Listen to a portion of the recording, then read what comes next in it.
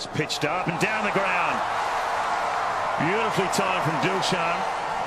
And another boundary to him.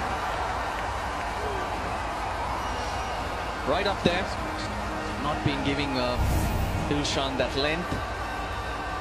But for the first time this innings, one off the middle of the bat. And again, down the ground. And Mitch Johnson just over pitching and paying the price. Dilshan's second boundary. And pulled away into the deep. This could be three in a row. And it is three boundaries. So Sri Lanka putting their foot down.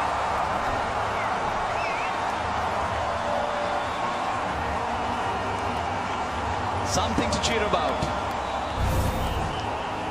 They won't miss out the Sri Lankan fans.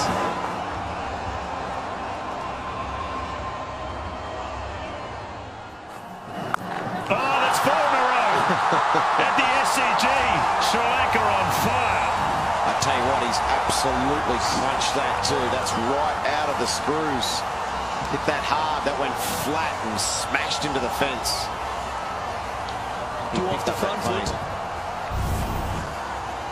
Quite predictable. Fast bowlers wouldn't like being hit down the ground.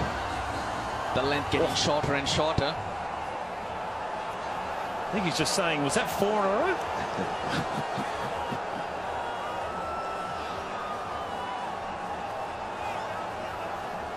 Slower ball, surely. this is when the, the white mist starts the quickies. I'm going to run in and bowl this faster and shorter. Slower ball. And it's up and it's through. That's five in a row. Dilshan smoking them at the SCG.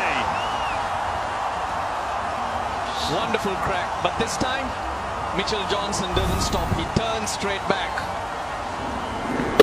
Just too full. Too full, a bit of width, and Dilshan all over it too. It's a, but it's Actually, another it one across the seam. Yeah. I reckon he's got to get the seam up, so at least it may swing or do something else, a bit of variation. But if it's across the seam, it can skid onto the bat if it hits the leather This of is the super ball. batting, yeah. This is super batting.